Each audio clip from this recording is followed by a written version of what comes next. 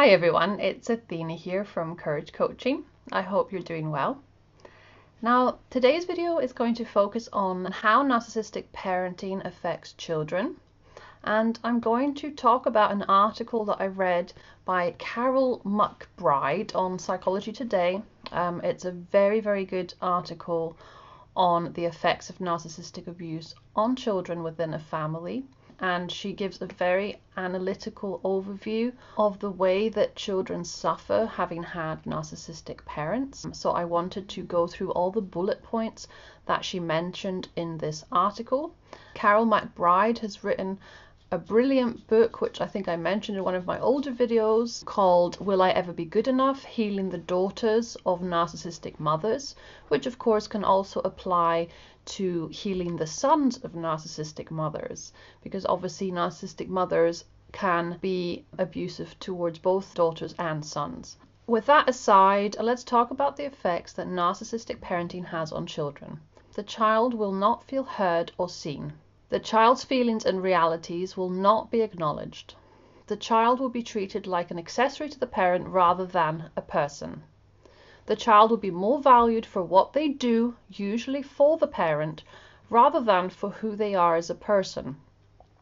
The child will be taught that how they look is more important than how they feel. The child will be fearful of being real and will instead be taught that image is more important than being authentic. The child will be taught to keep secrets to protect the parent and the family. The child will not be encouraged to develop their own sense of self. The child will feel emotionally empty and not nurtured.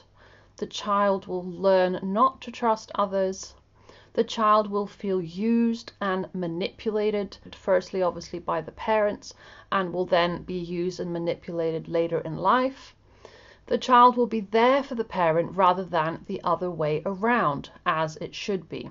The child's emotional development will be stunted in one way or another.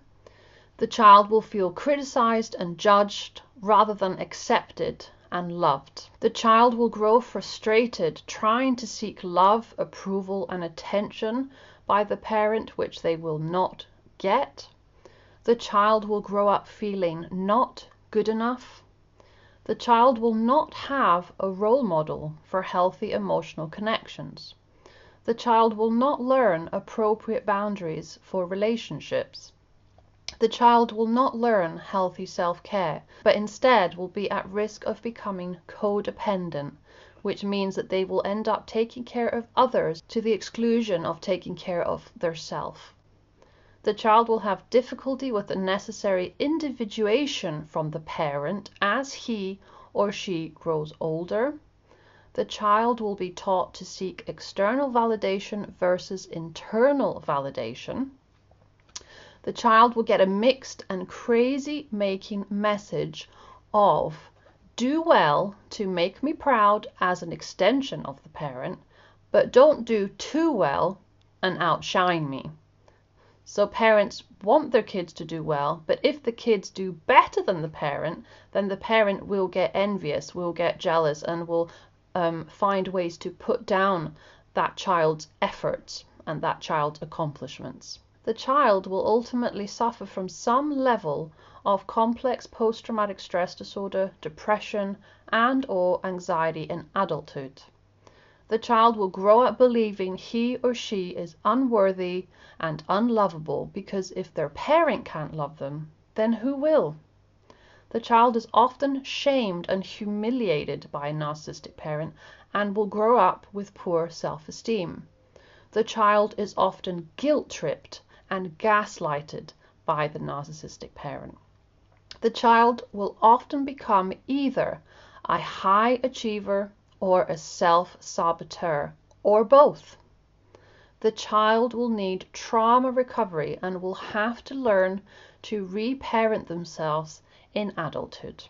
Children unfortunately feel suffocated and struggle with loneliness and pain behind closed doors with parents that are narcissistic.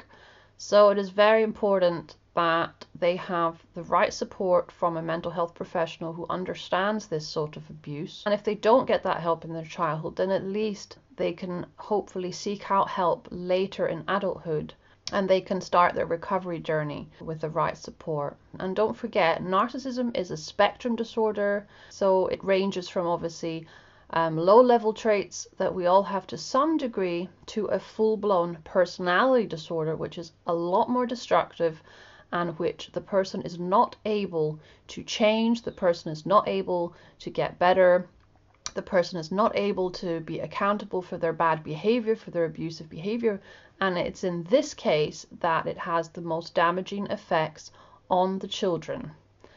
So that is the end of the video today. Thank you very, very much for tuning in. Um, I hope that it's helped please feel free to leave comments. Please share the video if you think it may help somebody that you know. And don't forget to click on the subscribe button on my channel. I haven't had a huge amount of time to release videos as often as I would like at the moment, but I will do my best to um, continue releasing videos. And if you have anything in particular that you would like me to talk about, then please send me an email and let me know. Have a lovely day or night wherever you are in the world. Uh, take care and I will see you in my next video.